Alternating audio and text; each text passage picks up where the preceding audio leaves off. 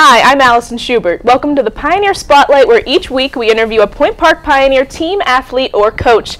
But this week we are changing it up a little bit, and our usual host, Josh Croup, is in the hot seat this week. In the hot seat and in the spotlight. This yeah, welcome to the spotlight. You, you guys surprised me. I thought I was interviewing at one of our head coaches here, and, and now I'm sitting over here, and this. We had everybody surprise. in on it. We even had Coach Parsley in on it. You know, ask away, I guess. I'm used to asking the questions, so I don't know how this works, but. Well, let's start with it. Spotlight. You started this when you what two years ago now. So how did this get started? Yeah, this is the third semester of Pioneer Spotlight. We started in the spring of 2017, in the first full year of the Center for Media Innovation. We had a nice partnership with them.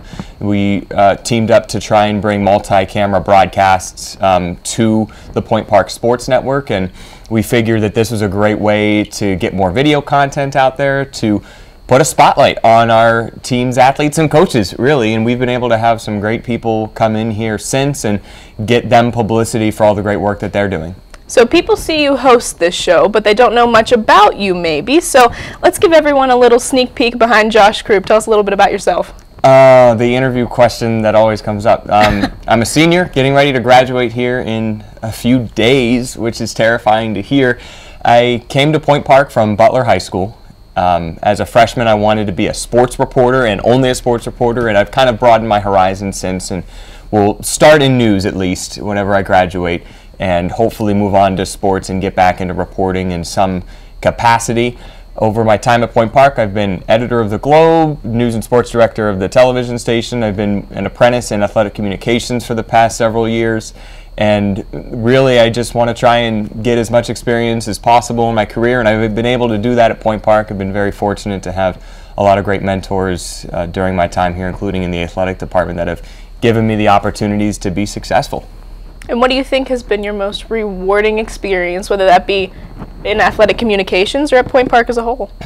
Everything I do is rewarding whenever you see the end product, and when you see all of the different hands that go into it. And because while I have had a hand in many projects here, there are so many other hands that have been involved. And so every time you can see a finished product, it's very rewarding. I think the most rewarding overall in my four years was election night 2016 when we had a five and a half hour live show from this studio with the television station, the radio station next door, and the newspaper all working together to put out a really fantastic product and then going over to the newsroom as soon as the show ended to put together a paper that recapped the election uh, hours later. It was a 36 hour marathon for myself and it was really great just to bring everybody together but again, very rewarding to see the end product of anything that I do here, knowing how many people have had a had a part in that. And what do you want your legacy to be, despite what it may be?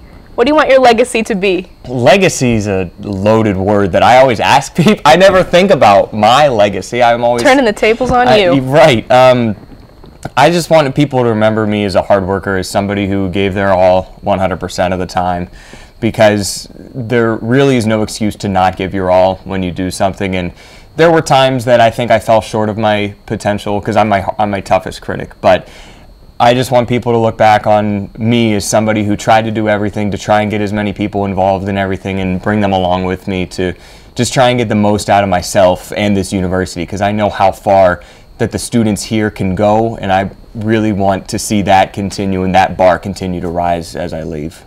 And not only myself, but I think everybody in this room and everyone at the university can vouch for how much time and how much effort you invest into things. So, I mean, you listed some of the things you're involved in already, but where do you want to see the future of Point Park go with the things you're involved in? Well, first of all, the future of Point Park is uh, limitless. The, just in the past five years, we've seen how much it grew. This place wasn't here. This building that we're in right now wasn't here when I started with the Playhouse opening, the new Student Center that's going to open in several years from now. There are so many new additions that the school's going to have that's going to allow the student media organizations here to really grow and thrive, I think. So those that's where I put a lot of my time in student media and athletic communications, which both have grown significantly in just four years. There weren't as many teams as there were just four years ago. We didn't have national champions a few years ago. Now, uh, on the track team, Anna Shields is breaking every record imaginable and is winning titles, getting Point Park recognition. So I think with the amount of publicity and the, the bigger name that Point Park gets in the coming years, my hope is just to see the student media and the students here really tap into that and try and capitalize on the work that we've done here to try and set them up for success in the future. Now, shifting from Point Park's goal to your goal, what is the dream after you graduate? Dream job? It depends on the day and my mood, what my dream is. There are several different career paths I see um, as possibilities right now one of which ends at Sports Center, one of which ends at a network nightly news, one ends with me taking over Steve Hartman's On the Road series, which, which, is fantastic. So, um, and another has me as vice president of communications for a baseball team. So there are multiple different routes. I could not have imagined being where I am today four years ago, and so I don't want to necessarily zero in on one particular thing. I think my overall goal individually is just to keep improving as a professional, as a person, as I move on in my career, and just trying to get the most out of every experience and every opportunity that's presented to me. Now, finally, we'll end with this. From long term goals to short term goals, what's next for you after graduation? Uh, next, after graduation, I hope just to start in news broadcasting. I have a couple of ducks that I'm just trying to get in a row right now as we end, but I'm confident after graduation that I'll be able to jump right into the workforce. I am going to Italy for a few weeks after graduation to study abroad for a couple of weeks just to get away from the country. I haven't been um, into Europe. I've only been to Canada, great country by the way, but um, going to Italy for a few weeks, and then we'll dive right in and start the next step of my journey. And hopefully, that journey includes a few visits to Point Park. Well, the next step of his journey is very soon, but until then, we have one more week left of Pioneer Spotlight. As always, you can view this and keep up with the Point Park sports teams at Point Park Sports on all social media. Josh, thank you so much for joining me. Well, thank you for the nice surprise. I appreciate it.